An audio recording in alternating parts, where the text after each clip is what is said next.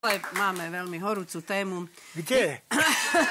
U nás však ani nevieme, čo sa tam teraz deje, ale teda Niečo? začalo to tak, že mimoriadná parlamentná schôdza, hej, kde sa mali prerokovávať sociálne balíčky, bola fakt mimoriadná. E, Kotleba na ňu kvôli nehode nedorazil. Podarilo sa ju ale otvoriť vďaka Galkovcom, ktorých e, Sulík vyhodil z SAS. Na úvod poslankyňa za LSNS navrhla, aby sa kresťania pomodlili oče náš. To by sme aj my mohli teraz na začiatku. Ja, teraz, že by sme, no. akože sa pomôžeme, no, si predstavte, aký A nemáme texty.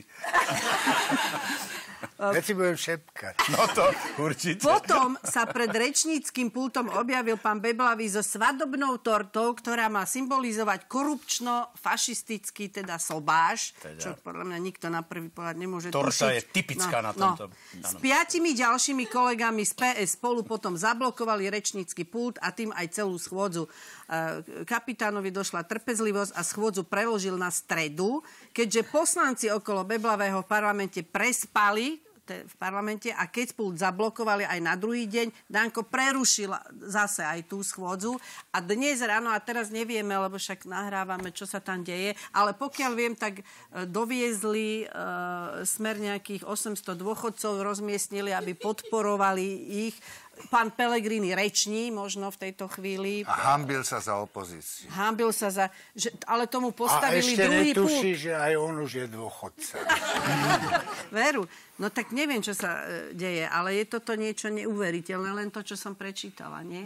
Oče náš.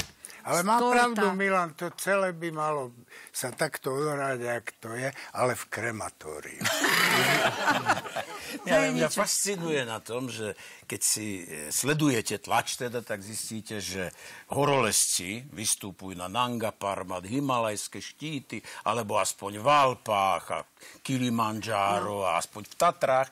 A títo naši konečne po 4 rokoch vystúpili na Kecpult. No. A začali tam bivakovať. No. Ale pre zlé To je- počasie to je vydržali prvo- iba To dva je dní. prvovýstup. To, áno, sú to prvolesci a všade na svete vynesú na ten vrchol vlajku. Oni vyniesli tortu, lebo že vraj bude svadba medzi Smerom a teda tou fašistickou stranou. Ale na to sa mi páči, že teraz už tá svadba bude a ako som sa teraz dozvedel, že priviezli aj 800 družičiek dôchodkového veku. Takže svadba bude ako má byť. No Kto vie, čo bude ešte vyhrávať do tanca na počúvanie. No. Dosť sa ma dotklo, že nie som pozvaný medzi tých penzistov. Nestačí ti, že si medzi nami? Nie, nestačí. Tiež, Tam, tiež tam pozvali penzist- Milan iba tých, čo majú nízke dôchodky, vieš?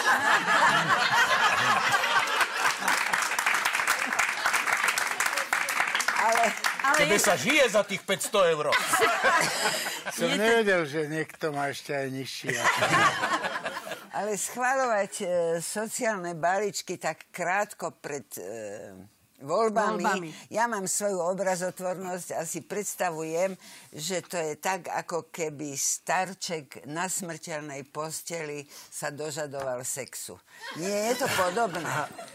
No ale No a možno... čo? rozmýšľam, čo to je za Čoho by sa mal dožadovať? No možno sa chcel len pozerať.